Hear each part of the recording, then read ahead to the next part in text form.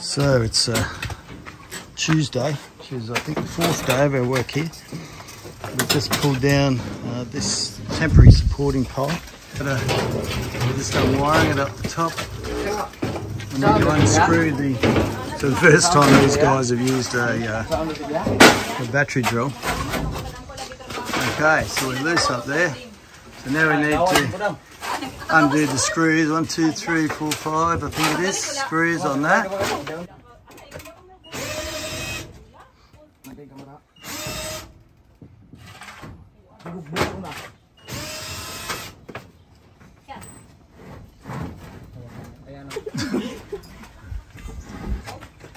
Lovely, like professionals.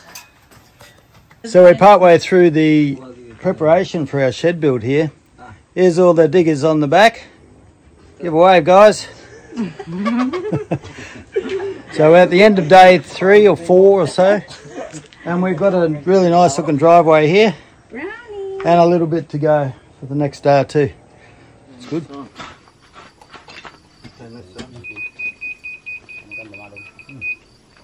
So we're continuing with working on our driveway here at Los Carros Farm, and uh, I realised that we'd already grassed this and I haven't levelled it.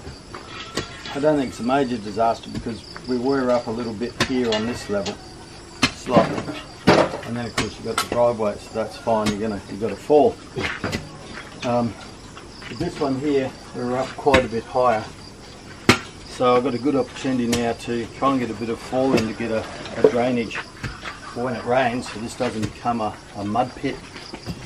So what I did before, I took this level here, which is around about 104.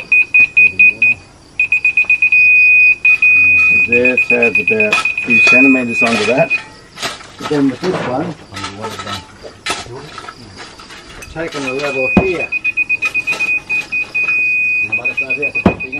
Close to, at this level, I need to get a, a fall on that all the way down. Now, this is still pretty level. You need to probably get a bit more fall on that. Now I lose it. I lift it up slightly. I got about two centimetres fall there. Here I think I went a bit deep.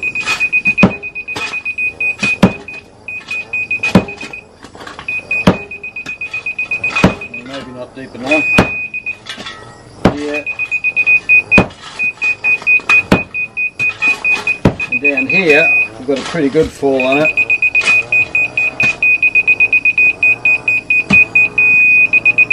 About four or five centimetres.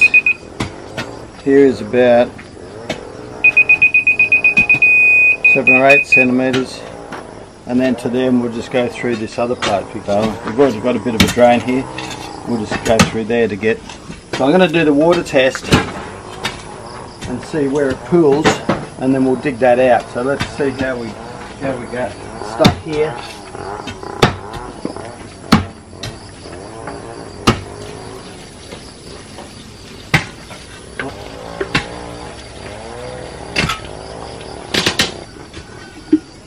So far so good. Pooling here.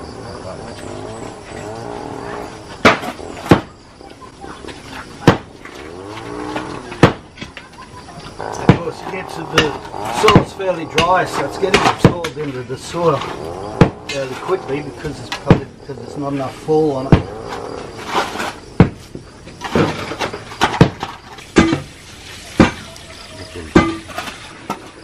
I think that flows so well. That's better. Yes, that's it. All right, that's the slope. We've got that drain to work fine, so that's a good angle there. Now I'm trying up this way. I think I've gone too deep here, so I'm going to just try this this uh, slope on this and see how this goes.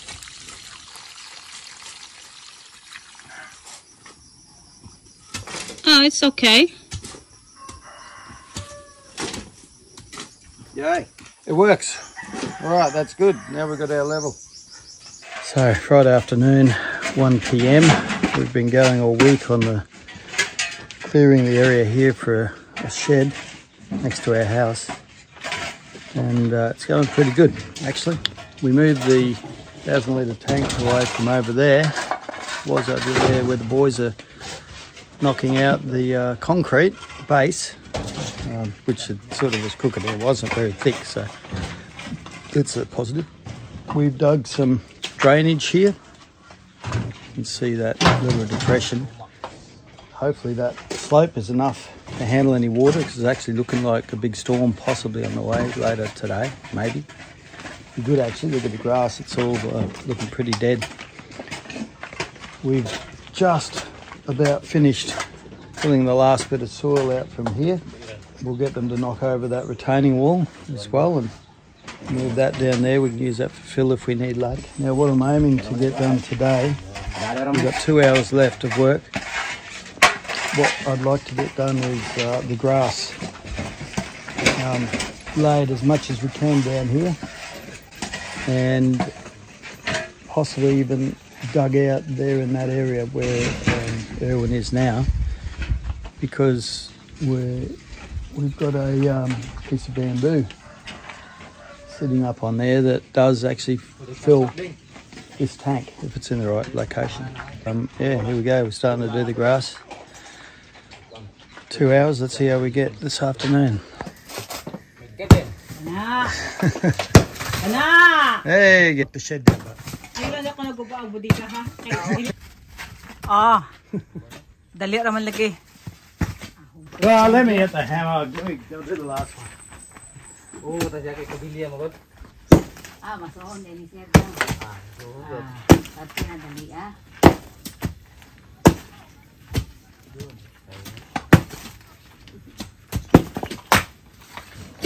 The most fun part of construction is destruction before you do the construction.